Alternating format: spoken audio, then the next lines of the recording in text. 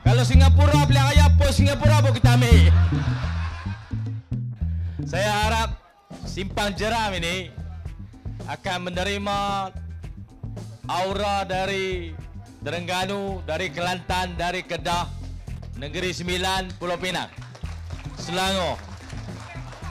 Tuan-tuan sekalian, gelombang Perikatan Nasional ini telah melanda negeri di pantai timur, di utara dan telah turun ke selatan tanah air dan saya yakin simpang jeram dan pulai ini akan menjadi penentu penting untuk kita hantar mesej kepada Abang Non.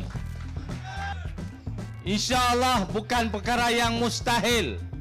Benda ini boleh berlaku.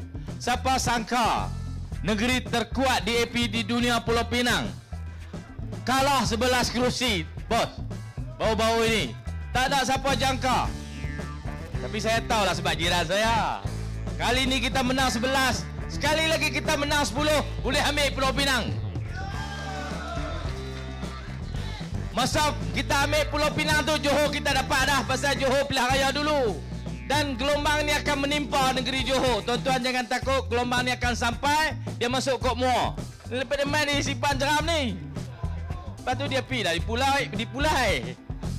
Akan berakhir di di Johor Baru insya-Allah. Kalau Singapura pilihan raya pun Singapura pun kita ambil.